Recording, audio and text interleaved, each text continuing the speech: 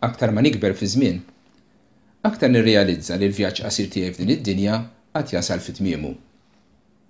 Nistqarr li mhux dejjem għamilt it-tajjeb u mhux dejjem obdejt lil Alla. Il-ħsieb li jien midneb, għad irrid nidher quddiem Alla ġust u qaddis, ibeżżagħni.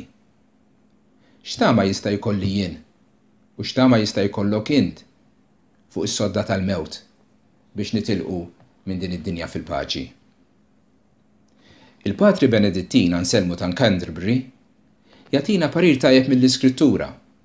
Huwa jindirizza l-moribond f'sensiela ta' mistoqsijiet u tweġibiet u jibda billi jistaqsih, Temmen li l-Mulej Ġesù Kristu miet għalik? Tweġiba, Iva, nemmen. Tirringrazzjah għall-passjoni u l-mewt tiegħu? Iva, nirringrazzjah. Temmen li ma tistax issalva ħlief bil-mewt tiegħu? Iva, nemmen. Ladarba jikkonferma li tassew jemmen fi Kristu, Anselmu jfarraġ lil dan il-bniedem b'dan il-kliem, Ejja mela, sakemm għad fadal fik in-nifs, Ħa jkollok fiduċja sħiħa fil-mewt tiegħu biss. Ħa ma jkollok ebda fiduċja f'xejn aktar. Afda lilek innifsek f'mewtu. B'mewtu għatti lilek innifsek. U jekk il-Mulej Alla tiegħek jitlob minnek il-ħaqq, għidlu, Mulej, bejni u bejn il-ġudizzju tiegħek noffri l-mewt tal-Mulej Ġesù Kristu. M'għandi ebda difiża oħra quddiemek. U jekk jgħidlek li inti midneb, għidlu, Mulej, inqiegħed il-mewt tal-Mulej Ġesù Kristu bejnek u dnubieti.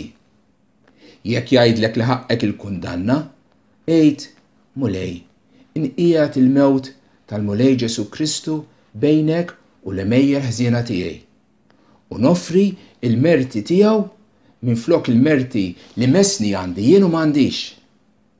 Jekk jgħidlek li mgħaddab għalik, għidlu, Mulej, inpoġġi l-mewt tal-Mulej Ġesù Kristu bejni u l-għadab tiegħek.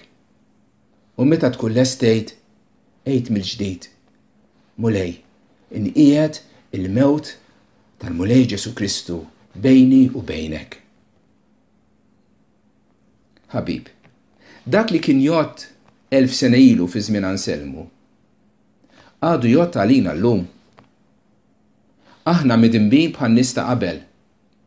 Alla jibqa' dejjem ġust u rett.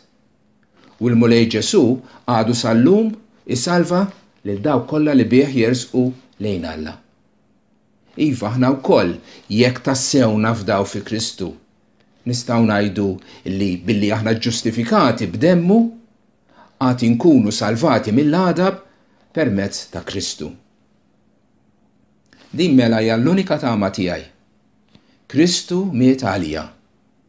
F'dak il-jum, il-Mulej jeħlisni mill-għadab u l-kastig li ħaqni, għax minn issa stess, Alla jgħoddni ġust minħabba d-demm li Kristu xerred għall-maħfra ta' dnubieti. Ippermettili nistaqsik, ħabib, int qiegħed tafda s-salvazzjoni ta' ruħek fi Kristu? Tistenniex sal-aħħar. Issa hu l-waqt. Issa huwa l-jum tas-salvazzjoni. Tibżax tammetti m'Alla li inti midneb u ħaqqek il-kastig. U fl-istess ħin itolbu, itolbu l-ħniena u għidlu, Mulej, inqiegħed il-mewt tal-Mulej Ġesù Kristu bejni u bejnek.